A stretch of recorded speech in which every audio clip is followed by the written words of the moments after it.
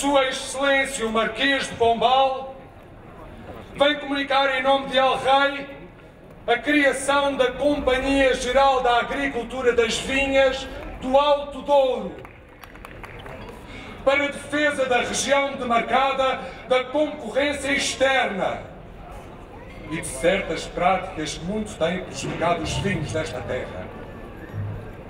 Saibam todos que da parte dos homens bons da cidade do Porto e dos lavradores desta nossa província do Douro, nos foi enviada uma representação na qual nos informavam de certas práticas que muito têm prejudicado os vinhos desta terra, uma das riquezas mais certas que têm as alfândegas de El Rei, e nos pediram que lhes dessemos remédio.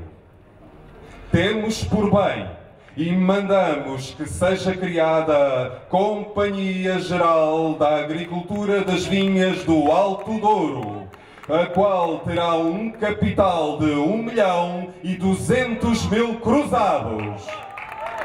Esta companhia terá ainda o exclusivo de estabelecer as principais qualidades dos vinhos aqui produzidos, que são os seguintes.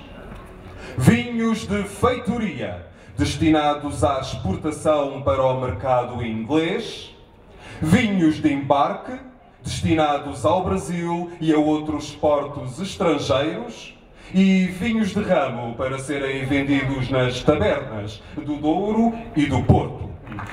Mais ainda, esta companhia terá ainda o exclusivo de fixar os preços de cada uma destas qualidades de vinhos de exportar os vinhos para o Brasil, de fabricar e vender aguardente no norte do reino. Viva o rei! Viva Portugal!